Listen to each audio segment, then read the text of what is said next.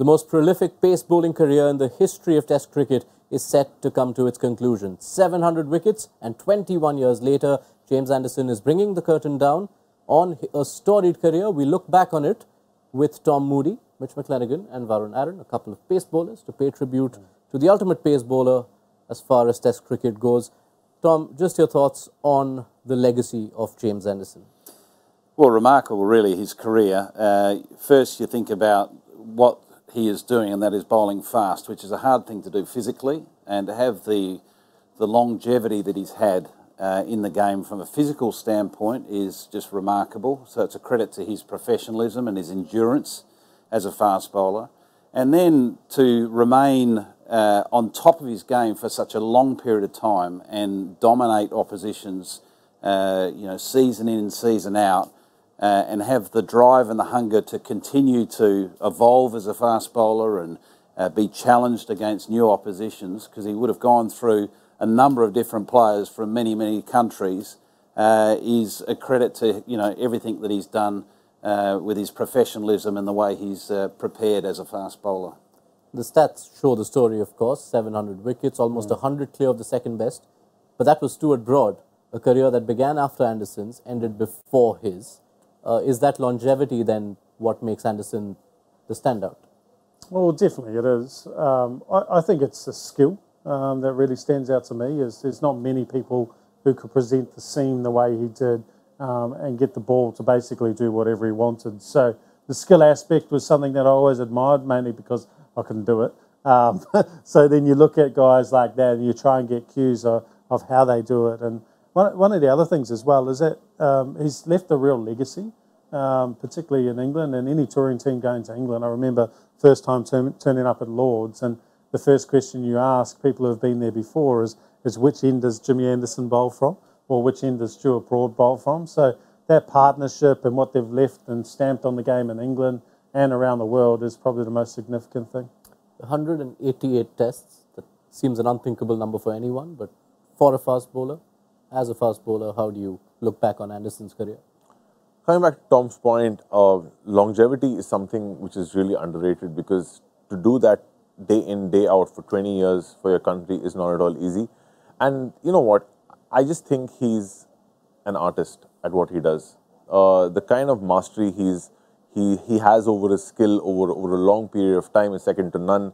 What what Mitch said, unbelievable seam presentation can even get seam to deck off if if there's if there's no if there's no uh, swing with with a wobble seam.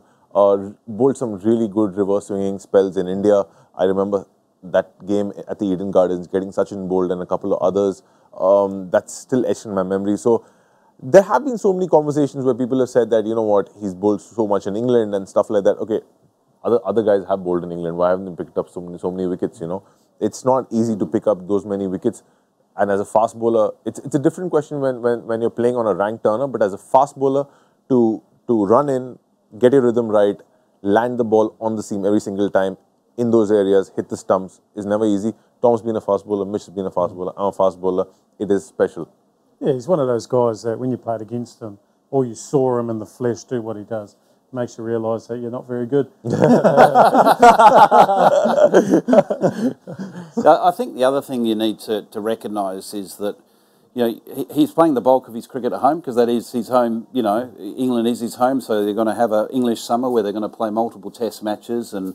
And then obviously out of season he'll travel around the world and play, which he's done so so successfully. But what he has done, you can sort of point at uh, that yeah, okay, his record at home is unbelievable, but he's had to work on that record. He's had to he's had to take advantage of the ball, the Duke ball, and and there would have been a period in his career that he would have used the reader as well, because in mm. England at one at point they were using mm. both balls, and I remember one summer they would toss the coin. The captains would toss the coin to which ball they were going to use.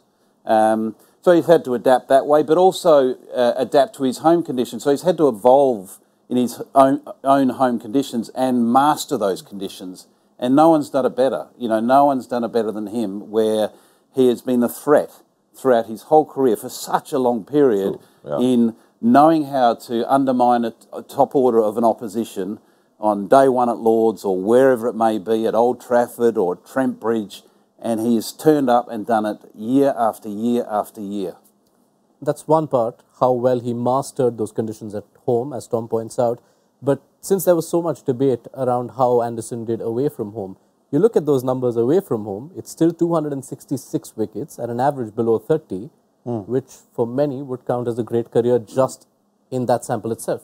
Yeah, phenomenal. And the only reason that you're questioning those numbers at all, or anyone ever did, was purely because he was so dominant at home. So, you know, and the change of ball, like you talk about, it's always a, massive conversation point. But it's just purely that uh, it was more difficult for him to do that overseas, what he did so exceptionally well in England. So he was he was godlike in England conditions, and he was well world class in other conditions. It was just that benchmark was so high. You brought up that series from 2012, which surely counts high up in Anderson's achievements because a test series win in India, that's not happened much through these 20 years. And you look at his career numbers in India, an average around 25, in Pakistan, an average below 20. To do that in the subcontinent, having bowled here so much, what does that speak to Anderson's legacy? like I said, I, I that's why I brought it up because so many people talk about him just getting wickets in England, which is so untrue because uh, I've seen him bowl in India and he does things with the ball which even the Indian bowlers then couldn't do because especially in that in the 2012 series he bowled exceptionally well, especially with the reversing ball. And uh, somebody like him, you don't get 700 odd test wickets by just bowling at home. You have to bowl everywhere. You have to do well everywhere. You got to make your team win. And he's left a huge legacy. He's an inspiration to many fast bowlers. He's an inspiration to fast bowlers who actually want to want to push push the envelope, um, go beyond a certain age, and play the game. Uh, and it's uh, it, it's unbelievable. It's just like what Federer did with, with tennis. He's done with fast bowling. Yeah, a question I, I'd love someone to ask him is is whether he would trade or how many wickets would he trade? Would he trade 50 wickets to get it that extra 19 runs, a highest score with the bat of 81? If he's like most batters, it'd be an interesting question to pose. Oh, I tell you what, it'd be like putting the cherry on the cake. That that would be an amazing career. hundred plus all those all those wickets. Six fifty if we're talking about fifty wickets. And 100. And 50 is a bit much. Maybe 10. Maybe 10. 10 test wickets is big. Ten test Yeah. That 81 is a game you saw from close quarters when James Anderson and Joe Root kept batting on and on for the 10th wicket. Oh yeah, that was a really flat wicket. Uh, even, even even Mohammad Shami had had a day out. I remember Mohammad Shami's flat bat uh, Anderson for a six straight down the ground. It was really flat wicket. So if there was ever a place he could have gotten a Test hundred, it was at Nottingham in that game. All right, coming back to Anderson's primary skill set, the bowling. It's always a tough conversation, but worth asking the question where would you place Anderson among fast bowlers in Test cricket?